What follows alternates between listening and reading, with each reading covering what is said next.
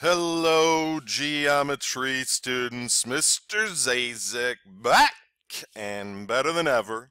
I am nursing a little bit of a sore throat right now.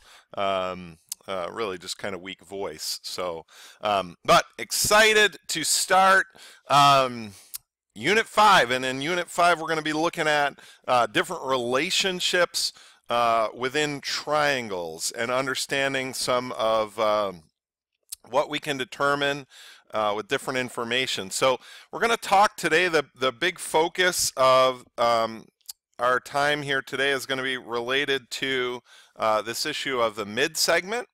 And a triangle mid segment is um, a segment that is connecting the midpoints of two sides of a triangle. So first off, I just want to help us understand that um, how can we recognize when this is um, in, in case the fact? Well, one way that we can recognize this is they just tell us that the mid segment with words. Um, another way that we could recognize this is that we could be given the midpoints. So they might, you know, a, a question might say, uh, such and such is a midpoint, and um, therefore the two connecting midpoints uh, are, make a mid segment. A third way that we could be uh, recognize this is we could be given tick marks. That that's what this diagram is here on the left. We've got tick marks, and the tick marks indicate that we have a midpoint, and therefore we have a mid segment. And um, the last way we could do it is we could be given numeric values, uh, which would again lead us to a midpoint. So uh, for example, in this one, this might be, you know, four and four, and over here, this might be six and six. Those numbers would indicate to us that that point is a midpoint, and therefore we have a mid segment. Okay, so once we have the mid-segment, we get the triangle mid-segment theorem, which says if a segment joins the midpoint of two sides of a triangle, then the segment is parallel to the third side and half the length uh, of it. So as we look at this, if D is the midpoint of CA and E is the midpoint of CB, then we have uh, DE this is a, so what we want to identify here is, so therefore DE is a mid-segment. So now that it's a mid-segment, what we conclude? Well, we conclude that these lines are parallel to each other, and then DE is half of AB. All right, so just um, in relationship to parallel, with parallel, keep in mind angle relationships.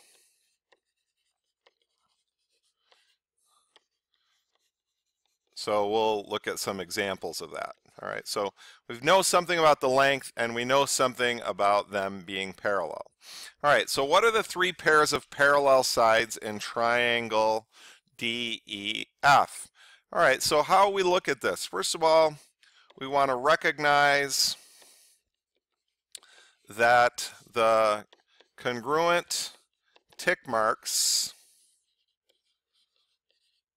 uh, therefore, we have R, S, and T are midpoints. Therefore, we have RS uh, RT and TS are mid segments. So just trying to help us get the right thought process for these questions. So what's going to be parallel then is, so therefore RS would be parallel to DF and DE would be parallel to TS That would be the mid segment. So we've done RS and we've done TS. And then the last one would be RT would be parallel to EF. Okay, so all of those mid segments are parallel. Okay, so number two, what is the measure of angle uh, VUO? Oh, what's this angle right here in the figure? Explain your reasoning. Okay, so let's see. Tick marks. Tick marks lead us to U and V are midpoints. Therefore, UV is a mid-segment. Therefore, um, NM is parallel to UV. It's one of the properties of mid-segments. And so now um, we have, so therefore, uh, the measure of angle VUO is going to equal 65 because it is a corresponding angle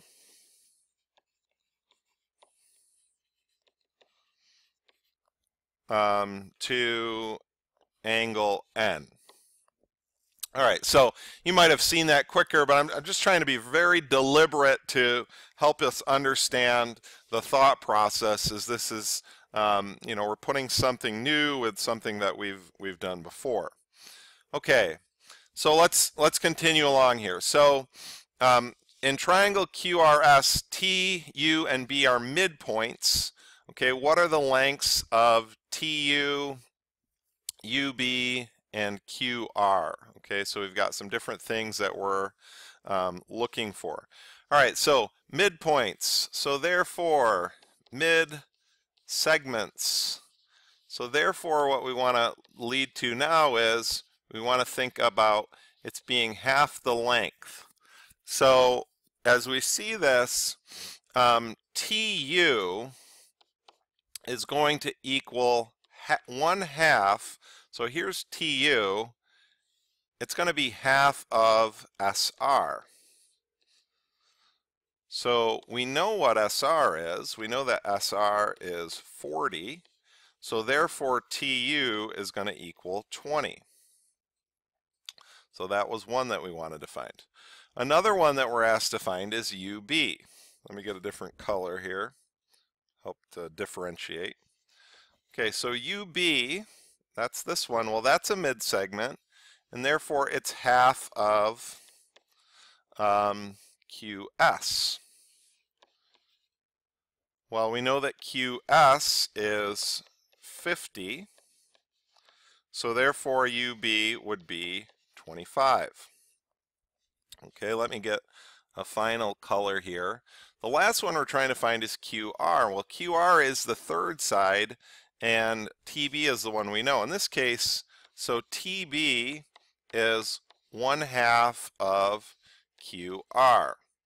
So let's do a little bit of algebra, and if we multiply both sides by 2, 2 times TB equals QR. Well, we know what TB is. We know that TB is 30 so 60 equals QR. So in other words, you know, if we've given the mid segment and we want to find the side, we're going to uh, double the length of that segment. Or we're going to take a half going the other way. All right, number four, in figure, in the figure AD is 6, okay, which means DC is going to be 6, and then DE is 7.5. What are the lengths? And then it gives us a bunch of things that we're trying to find the lengths of. All right, so what we want to see is tick marks, give us midpoints, which give us mid segments. So that's the thought process that we have going on here. And let's look at the specific um, specific things we're being asked to find. Okay, so first of all, DC. Oh, we kind of already did that. So AD equals DC. Excuse me. DC. We know that AD is 6, so 6 equals DC. All right, what does AC equal then? Well, AC equals AD plus DC. So AC equals 6 plus 6. So AC equals 12. All right, now we're being asked to find EF. Well, EF is a mid-segment. So a mid-segment is one half of, this is our EF or FE, that's going to be one half of AC. And we just found that AC is uh, 12, half of, whoops, so it's half of 12. So EF would be 6. All right, and then the last one that we're being asked to find is AB. So AB, which is a mid-segment, let me use a different color. Um, so here's AB. AB is the side. Um, let me write this the other way. Flip it around here.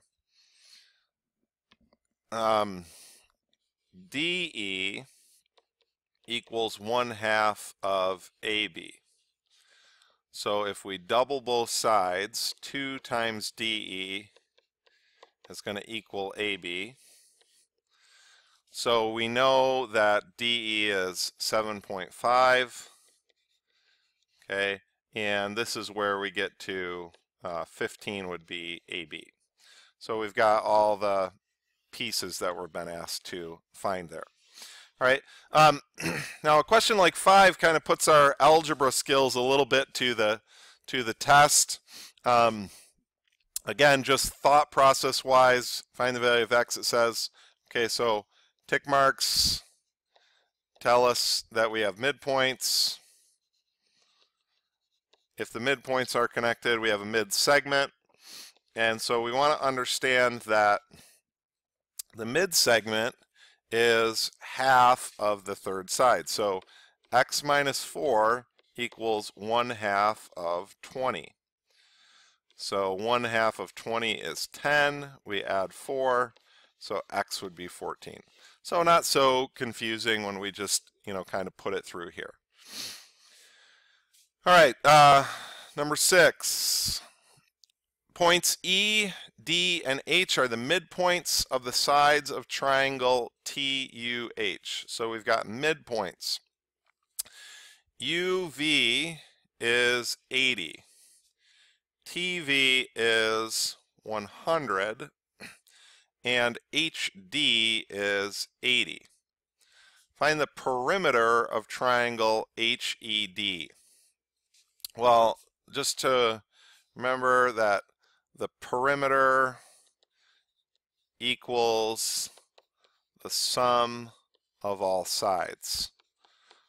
So in triangle HED, so the perimeter of triangle HED is going to be HE plus ED plus HD.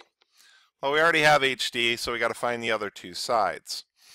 So HE equals 1 half of 80. So HE would be 40.